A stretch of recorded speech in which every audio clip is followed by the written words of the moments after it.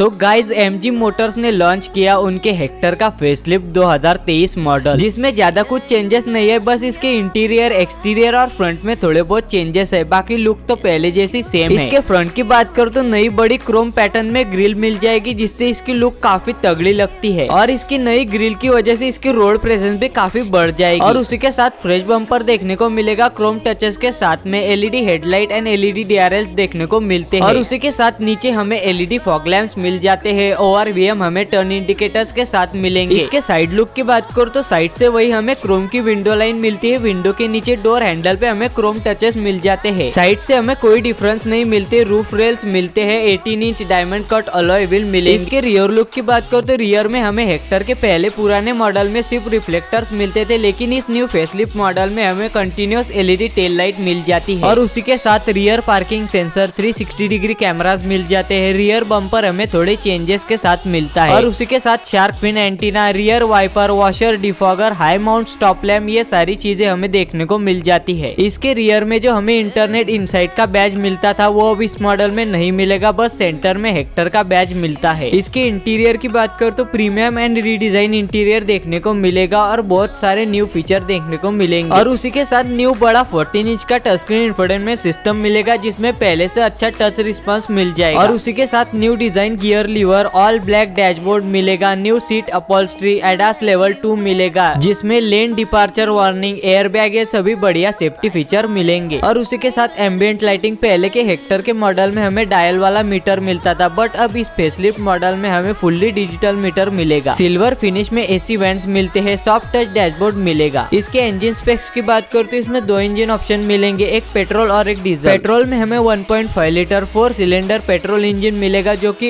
140 bhp power और 250 nm का torque generate करता है जिसमें हमें हाइब्रिड एंड नॉन हाइब्रिड का ऑप्शन भी मिल जाता है। और डीजल में two litre turbo diesel engine जो कि 170 बीएचपी पावर और साढ़े तीन सौ एनएम का टॉर्क जनरेट करता है, ये सिर्फ़ सिक्स स्पीड मैनुअल ट्रांसमिशन में मिलेगा। क्योंकि एम जी एक्टर के डीजल ऑप्शन में हमें सिर्फ़ मैनुअल ट्रांसमिशन का ही ऑप्शन मिलता है। इसके सीटिंग कैपेसिटी की बात करो तो ये हमें five six and seven seater option में मिलेगा। और ये टोटल सेवन कलर ऑप्शन में मिलेगी। और इसके एक्सपेक्टेड लॉन्च की बात करो तो पाँच जनवरी दो हज़ार तेईस को लॉन्च हो जाएगी। इसके एक्सपेक्टेड प्राइस की बात करो तो ट्वेंटी थ्री से twenty seven lakh ex showroom India तो कैसे लगी आपको एम जी एक्टर कमेंट्स में ज़रूर बताना। इस वीडियो में बस इतना ही। वीडियो पसंद है तो वीडियो को लाइक करो चैनल सब्सक्राइब करो बेलाइकन दबाकर इस वीडियो को शेयर कर देना। मैं मिलता हूँ तुमसे अगले वीडियो में। तब तक के लिए जय हिंद, जय भारत।